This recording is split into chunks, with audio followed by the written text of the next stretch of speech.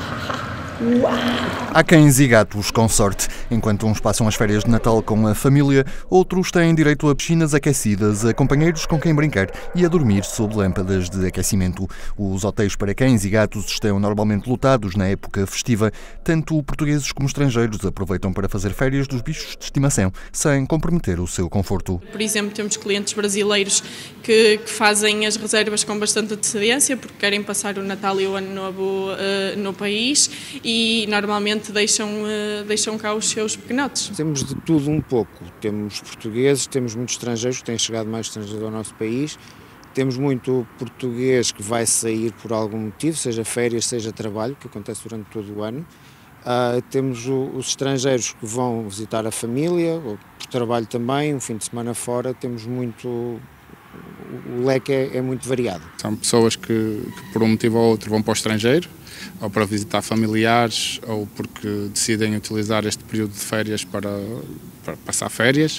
Uh, temos também clientes que, que, porque vão ter família em casa e fica bastante confuso ter os cães em casa, também optam por deixar connosco. Mas cães e gatos têm personalidades distintas. Se os primeiros preferem a companhia e a brincadeira, os felinos tendem a preferir o sol, comida e solidão. No caso dos cães, é essencial pô-los a gastar energias. Nós oferecemos é mesmo a interação entre eles, ou seja, a socialização. Os cães são animais que gostam de, de estar em comunidade e, e, brincar com outros. E, e, e tendo nós um regime aberto, ou seja, que eles estão soltos dia e noite, um, ficam sempre muito mais calmos porque desgastam tanto física como mentalmente e o que leva a que a sua estadia seja muito mais uh, tranquila do que estando fechados. E a nível de gatos, uh, normalmente eles saem do quarto e passeiam no espaço, mas não socializam entre eles.